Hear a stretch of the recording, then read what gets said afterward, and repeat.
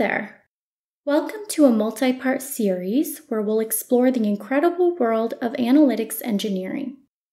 Ready to take your data platforms to a new level of structure, cleanliness, and efficiency? This series will help you with precisely that. To make things interesting, let's create a visualization of what we're about to achieve. Imagine that we have YouTube data itching to be analyzed using a robust platform like BigQuery.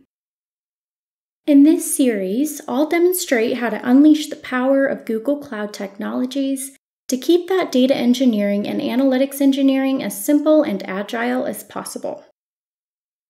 Keep in mind, though, our methodology remains valuable no matter what tech you're using. Increasingly, modern organizations are leveraging extract load transform ELT pipelines instead of extract transform load ETL pipelines.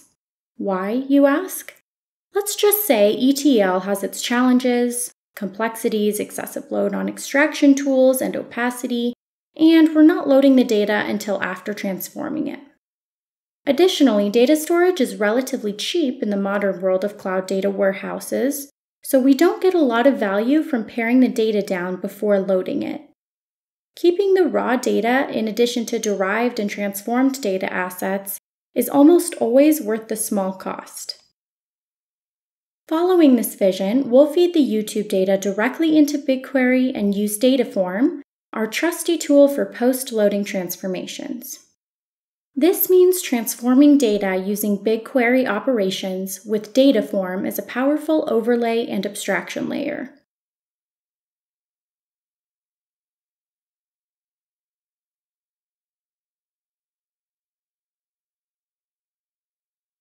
You're probably thinking, what about DBT, another familiar tool, which shares the same philosophy as Dataform? Agreed, but DBT requires a license for most capabilities and usually involves more setup. So let's keep it uncomplicated with the free Dataform service today. A natural starting point for the analytics engineering discussion is data sources, since everything is essentially downstream from there. This video will focus on this particular subtopic. As previously mentioned, our sources should be handled with ELT pipelines. We'll make the ingestion process less complex by loading the data without transforming it first. For this, we'll use BigQuery's data transfer service to handle the extraction and loading for us.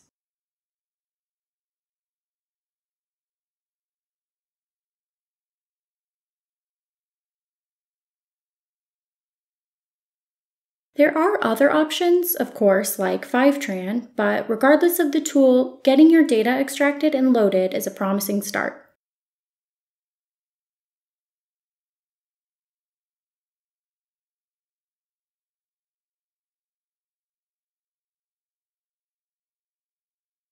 This video is accompanied by CSV and Python files, find them in the video description, so that you can simply import CSV tables and then follow along.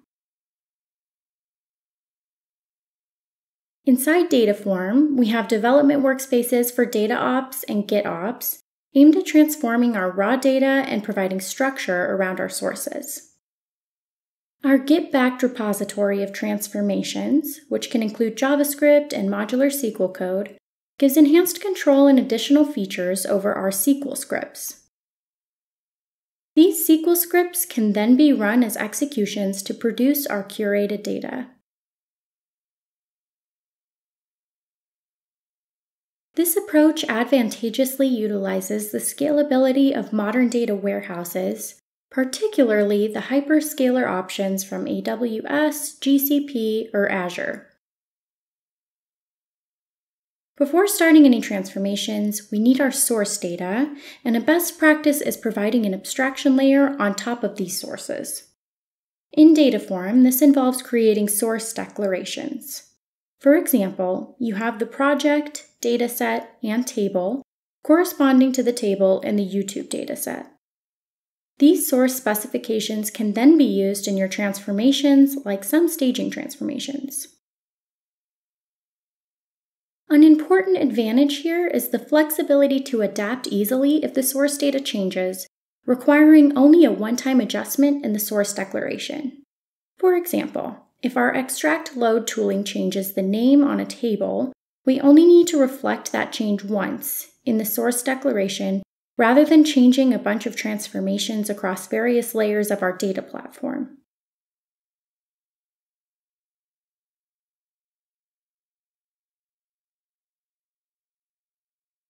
The next biggest advantage that we're going to examine pertains to source data and lineage tracking. Let's consider the lineage for this table using Dataform's compiled graph feature. This essentially presents a visualization of our source declarations and how they propagate through various transformation layers in our data platform. Therefore, in this graph, we can identify derived tables, views, as well as various tests and assertions, all of which we'll delve into later. For instance, for the geography's fact path, we're using our basic and province source data. We only get this if we can create logical tracking structures around our sources via the declarations. The same principle also applies for data cataloging. We get better data discovery, cataloging, and documentation, which we'll talk about more throughout the series, when we declare our data sources explicitly. With Dataform specifically, lineage tracking is automated. Depending on the analytics engineering tool you're using, the approach to tracking lineage may vary. Regardless, using source declarations in a way that allows lineage tracking is considered a best practice.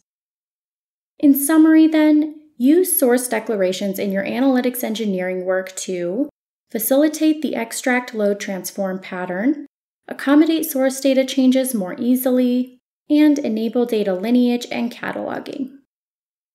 As we move forward in this video series, we'll be exploring other important concepts in analytics engineering. Thanks for watching, and we look forward to having you join us in the next video.